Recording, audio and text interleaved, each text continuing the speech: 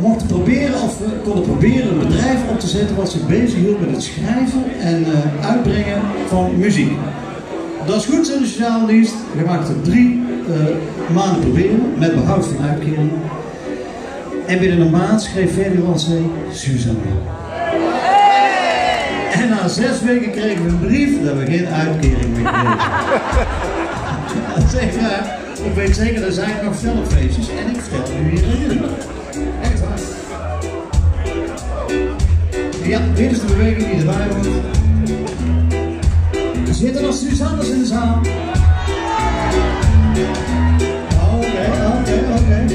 Hier is de Suzanne. Je kunt met z'n allen aan omslaan, kussen. Alles kan. We zitten samen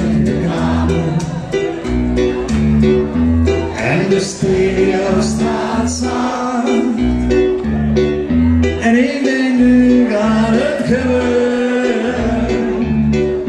Hierop heb ik zo lang gewacht. Niemand in huis, deur op slot.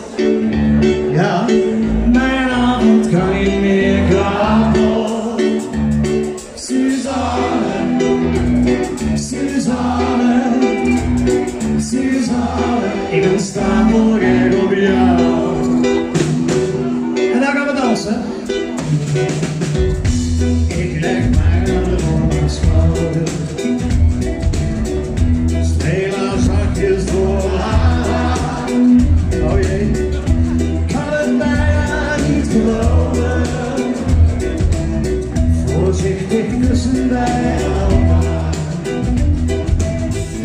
En opeens gaat de telefoon.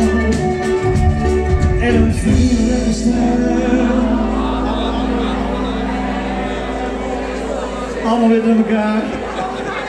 En een vriendelijke stem aan de andere kant van de lijn.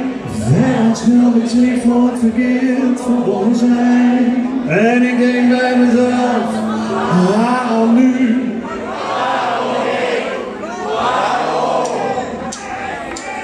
Suzanne,